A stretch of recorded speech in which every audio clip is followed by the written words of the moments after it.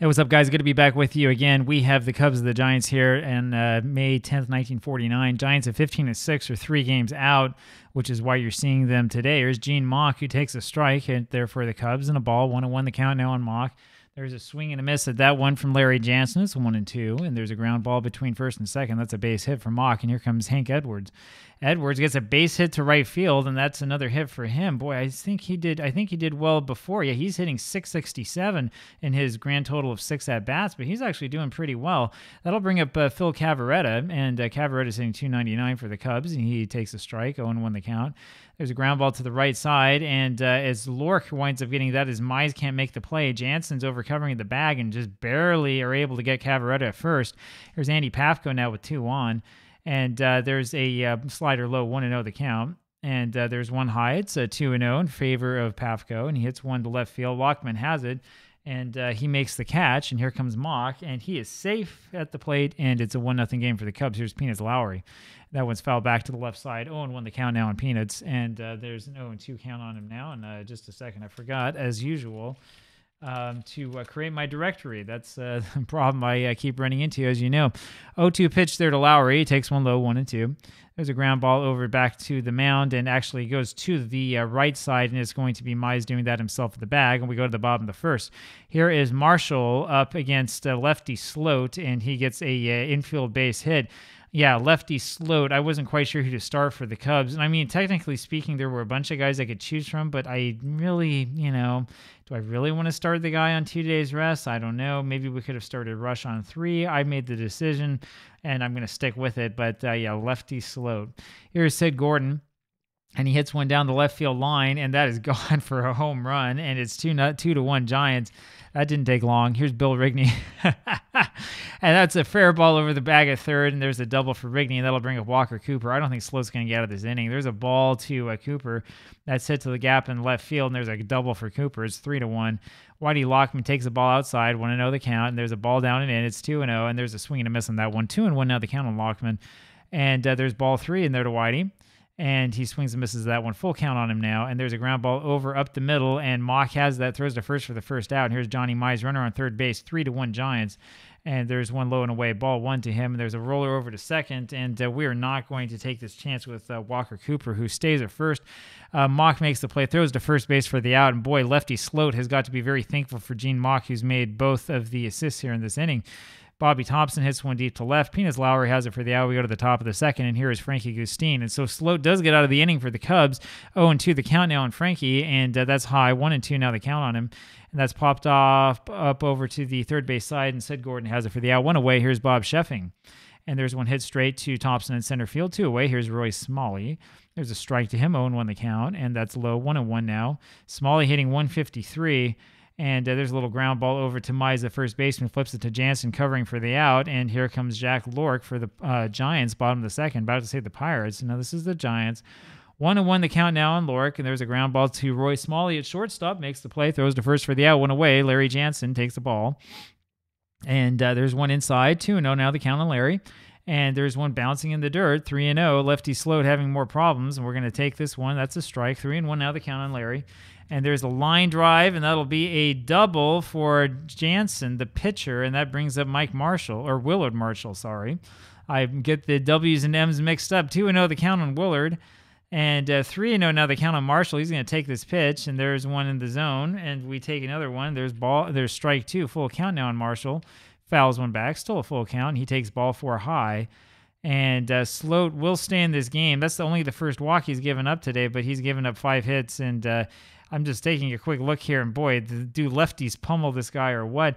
But it's hard to say. He only has nine innings pitched, right? He got a total of 27 outs in real life. So one and one the pitch now here on Sid Gordon, two and one as uh, that one was outside.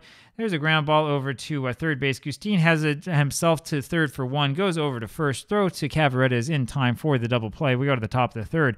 Here is lefty Sloat, who will stay in this game. He didn't have an at bat in real life, so he could do anything. What if he hits a home run? Two and one the count on him, and he's not going to hit a home run on that, but he does get a base hit past Rigney. And uh, that brings up Gene Mauch now with the Sloat on at first base. I tell you, this lefty slow fellow is pretty interesting. We to do some research on who this guy is.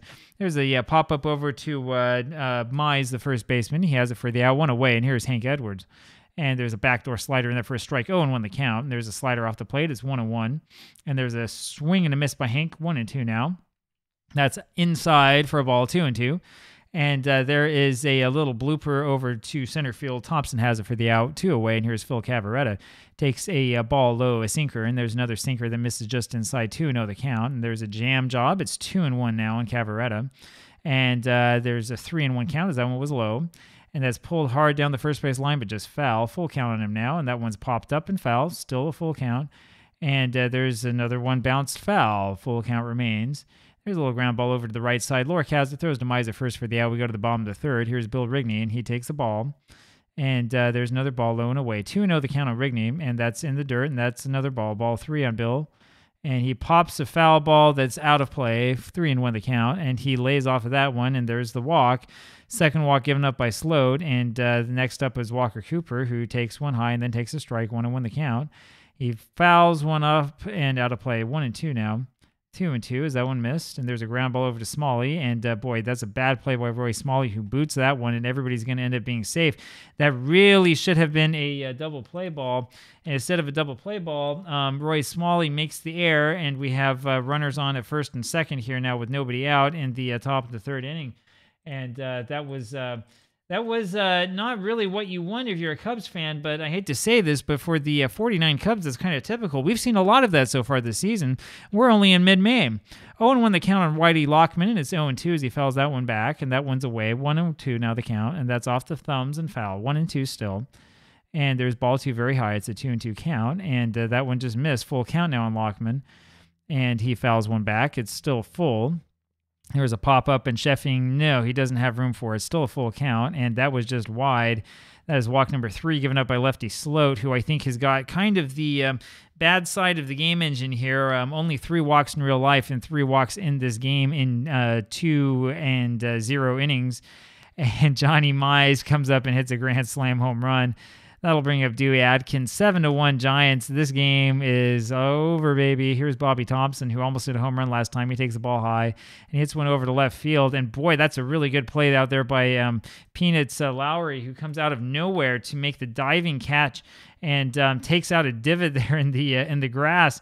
And that's the first out here of the inning. So uh, the question is. Um, uh, you know what could have happened uh, if they had made that pitching change a little bit sooner, right? Um, what was a three-one lead is now a seven-one lead for the Giants. Here is Jack Lohrke, and uh, there's a ball inside to Lohrke, one and zero oh the count, and there's a fastball in the first strike is one and one, and there's an inside fastball two and one now the count on Jack, and that's low and inside three and one. That's fouled up, full count now on Lohrke.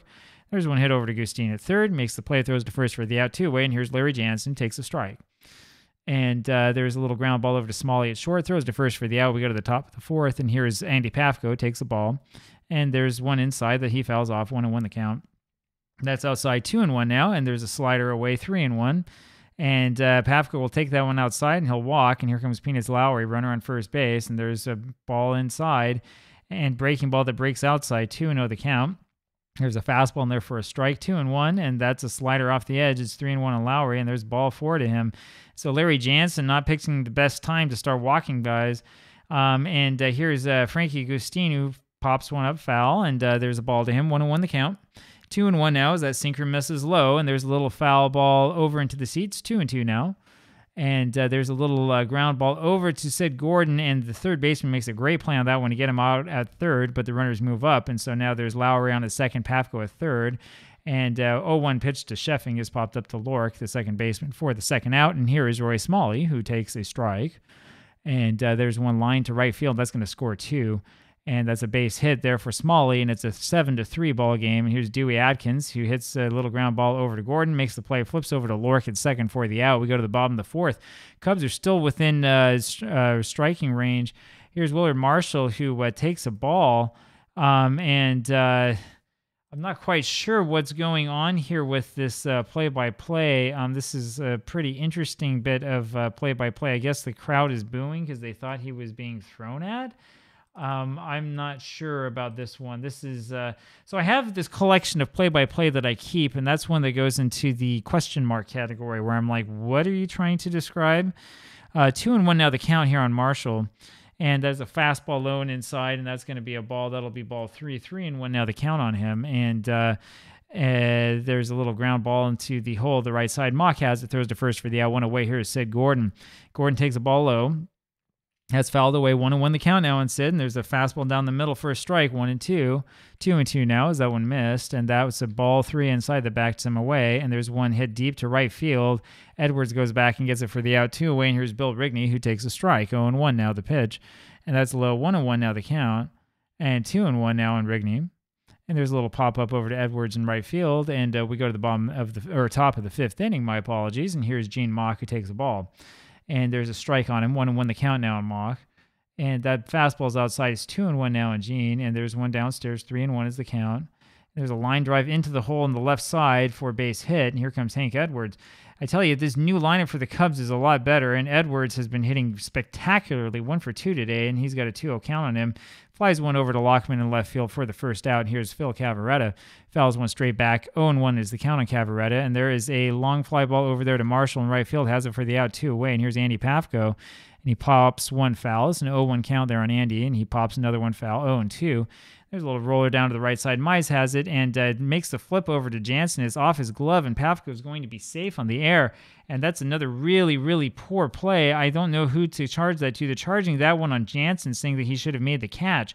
Every time we have one of those plays at uh, first base, um, I. Uh, have that uh, vision of you know the uh, old uh, Todd Worrell play in the '85 series and Denkinger standing there on the line. Except here, the flip was just really bad. I mean, how do you miss the pitcher when he's that close? Peanuts Lowrey now, and he has a little ground ball over to Lohrke at second, throws to first for the out, and we go to the bottom of the fifth. Walker Cooper up there now for the Giants takes a strike. The Cubs have had their chances and could be back in this game if they had some hitting. Uh, one and two now. The count on Walker Cooper as he fouled another one back, and it's two and two now on him. And uh, there's a full count now as that one missed.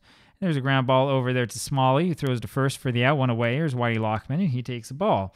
1 and 0 the count now to Lockman. There's one up and in. 2 and 0 now the count. And there's ball three on him, and we'll have him take this next one. And there's a fastball for a strike, that automatic strike. Fouls another one back. It's a full count. And uh, there's a breaking ball that's high, and there's ball four. And that will bring up a pitching change. changes. Now, Emil Kush is going to be the pitcher for the Cubs. This is what I was afraid of. You need pitchers who can last a little bit longer in the game than three innings. Um, Johnny Mize up there takes a strike and uh, a ball. One and one now, the count on Johnny. And there's a little fly ball over there to Andy Pafko in center field for the second out, too. Away here's Bobby Thomson, and he takes a ball. Oh, 1 and 0 the count now. 1 and 1 now the count on Thomson. And there's a liner to center field, and that's a base hit that falls in front of Pafko. And we're going to go ahead and play it a little bit uh, safe. We don't want to run up the score too much on him. Here's Jack Lohrke. Runners in first and second. We're not doing anything. There's a swing and a miss by Lohrke. 0 and 1. I don't know why they keep throwing because Lockman's not going anywhere. 0 and 2 the count now on Lohrke. There's a ball high one and two now, and there's a ground ball over there to Gustine at third base, and he throws over to Mauch at second for the out. We go to the top of the sixth, and it will be Frankie Gustine who's up there, and he takes a strike, and uh, there's another strike on him. That one was high. It's no and two count. He goes deep to right field, and Marshall goes all the way back to that wall, and he makes the catch for the out one away. Here's Bob Scheffing, and he hits a little ground ball to Rigney, throws to first for the out two away. Roy Smalley takes the ball and there's a little uh, fly ball into right center field, and that's going to be a base hit there for Smalley, and that'll bring up the pitcher, Harry Walker. And he takes a strike, 0 1 the count. Here's a ground ball over to Gordon, who goes the easy way to second for the out, and uh, we go to the bottom of the sixth inning, and here's Larry Jansen. Jansen takes the ball high and outside, want to know the count. And uh, one and one now is that one is a swung on a missed, and there's one that misses inside. Two and one now the count on Jansen, and two and two now on him. And there's a little fly ball over to the right side, and Pafko has it uh, for the out, one away. And here's Willard Marshall. Marshall takes the ball low and outside, and there's one high and inside on him, 2 0 the count. And that's in on the hands for ball 3 3 0 is the count. There's one hit deep to right field, and that is a home run for Willard Marshall, who hits, uh, what was that, his sixth of the uh, season so far? 8 to 3 now, Giants. And here comes Sid Gordon, and this Giants lineup is amazing the line uh, fly ball rather over to uh, Walker in left field for the second out, and uh, here comes Bill Rigney who uh, takes the ball, and there's a foul ball, um, one and one the count. Now eight to three Giants as they have really really come alive in this one. Uh, three and one now the count, and Bill Rigney is going to take this pitch, and there's that strike full count now on him and uh, he swings and hits that one over to Mauch. That would have been ball four, and instead it's a ground ball to second, throw to first for the out. We go to the top of the seventh, and here is Mauch. Mauch takes a ball low, one and zero oh the count now on him, and there's a slider in there for strike. It's one and one. It's foul back, one and two now the count on Gene, and uh, Jansen misses two and two now the count on him. And uh, there's a little fly ball over to right center field. Marshall goes back and gets that for the out, one away. And here is Hank Edwards, who takes the strike. 0 1 the count. And that one's fouled back. It's 0 2 now on Hank. And uh, there's a little foul back, a weak foul ball, 0 and 2. And there's one in the dirt, 1 and 2 now the count. 2 and 2 is that one missed high. And uh, 2 and 2, the count remains. And uh, there's a sinker low. It's a full count now in Edwards. And there's one line to third base. And Gordon can't quite get that one. That's going to be a base hit over his head. That'll bring up Phil Cavarretta. The yeah, Cubs are threatening again as Cavarretta takes a strike and then fouls one back. Oh, and two the count. One and two now. Is that one missed? And there's one high and inside. It's two and two now on Phil. And there's a liner foul right wide of third. Still two and two. That's a line hard to second base. That's going to be a base hit, and uh, that'll put runners on first and second for the Cubs, who are threatening again. That's their eighth hit of this ball game, and I tell you, they've had their chances, and they could turn this around here. We got to be careful. Andy Pafko hits one into uh, left center field, and Bobby Thomson goes back and grabs that one for the out. And here comes Emil Kush. They'll replace him with the other Emil, Emil Verban, and he gets a base hit over to the left center field, scores a run, and sends Cavarretta to third. That's a single for Verban. It's eight to four now. Frankie Gustine now, and Jansen's starting to fall apart. There's a ball in there to Gustine and a ball away, 2 0 the count. There's another ball, it's 3 and 0, and there's a strike on the outside corner, 3 and 1. There's a little ground ball over to Lohrke at second, makes the play, throws to first for the out. We go to the bottom of the seventh, and here will be Walker Cooper. Cooper pops one up, and uh, Scheffing is able to make that uh, catch and foul ground quickly, one away. And here is uh, Lockman who takes the ball, 1 and 0 the count, and he fouls one off. It's a 1 and 1 count now on Whitey. 1 and 2 is he let that strike go by, and uh, there's one that's fouled back. Still 1 and 2 the count and uh, remains one and two on Lockman. And uh, ball two is uh, Dubiel, Dubiel missed that one badly, two and two now. And there's ball three, so he's missing the zone again. And there's ball four, and uh, Dubiel has given up his second walk of the season. That'll bring up uh, Johnny Mize. Four run lead for the Giants. We're not too worried about anything. Mize takes the ball, and another ball inside, 2 0 the count now on him. There's a strike in there. It's 2 and 1. There's a ground ball over the bag of third base for a base hit, and we are going to have Lockman try to score. And uh, Scheffing had him and uh, dropped the ball, and that means that's going to be an error there on Scheffing. It is nine to four Giants, and here comes Bobby Thomson, And Thomson hits the little ground ball over to uh, the left side, and Dubiel had to play a third base, but um, Smalley, the second, uh, the uh, shortstop, failed to go over to cover, as he should have. And uh, with that ball coming in on the third base side, um, that really was his duty. And uh, as a result, this is one of these plays that will get lost in the box score. But instead of getting that, um, uh, uh I was going to say force out, but instead of getting the uh, tag out there at third base, the runner moves up to third. And here is Jack Lohrke who takes a strike. And there's one high, one and one the count now on Lohrke, and there's ball two on him. It's two and one. Three and one now the count and there's a fastball down and in. That one misses, and that puts runners to the corners again. Here's Larry Jansen, and he uh, fouls one off. It's 0 1 there on Larry, hitting 313 this season. 1 and 1 now as that one misses, and uh, there's strike two as he swung late at that one. 2 and 2 now the count. And uh, 3 and 2 is that one missed everything, full count, everything wild, and Dubiel walks him. He walks him to get the Willard Marshall, who already has a home run in this game. Willard Marshall is hitting 371 with a 434 on base percentage, a 640 slugging percentage. This is not what you want to do. And he's ripping right handers apart, but then he hits one out to Andy Pafko in center field for the out. We go to the top of the eighth. Here comes Bob Scheffing for the uh, Cubs. Boy, we've had a lot of chances in this game for both teams. One and one now, the count on Scheffing. One and two is that one's fouled back. And uh, one and two, the count remains. And there's a little uh, ground ball over to Gordon uh, on the uh, left hand side, the uh, third base side. Throws over to first for the out. One away. Here's Roy Smalley takes the ball, and then a strike. One and one the count. And there's a ground ball over to Rigney at short, and he uh, manages a bad hop and uh, is able to throw Smalley out easily, two away. And here is Harry Walker. One and one the count now on the left fielder. And there's a pop up that Marshall catches and right for the out. We go to the bottom of the eighth, and here is Sid Gordon and there's a strike in there to Gordon. 0 and 1 the count. And uh, that one's inside. 1 and 1 now the count on Sid. 2 and 1 now as that one was wide. And uh, there's a, a, uh, ground ball over to a Smalley. And there's a rare play for you. Is both the bat and the ball, the head of the bat and the ball rolled over there to a shortstop. And as a result, Smalley unable to make the play. And uh, that's a little bit of a rare play, I would say. That's uh, the sort of play you definitely don't see every day in Diamond Mind baseball. Runner on at uh, first base now for Bill Rigney with nobody out here in the bottom of the eighth. Rigney takes a ball and uh, takes a ball again. Or I'm sorry, this is a throw at first base. Still one and zero, one and one now the count. And there's a little line drive into right field for a base hit, and that will send Gordon over to third base. Rigney there at first base, and that'll bring up Walker Cooper. Runners in the corners, nobody out. And there's a fly ball over there to left field. Walker has it, but that will score the uh, lead runner. And it's uh, 10 to 4 game with uh, one out. And uh, Whitey Lockman hits a triple promptly, and that one went. Where did that one go to right center field? Nobody could get to that one, and now it's an 11 to four ball game. And here comes Johnny Mize, and Monk Dubiel is staying in there, and uh, it's a one and one count there on Johnny. And that's a changeup way outside two and one, and that one's hit down the right field line, and that is fair, and that's a home run. That's the second home run of the game for Johnny Mize, who's driven in six. It's 13 to four Giants.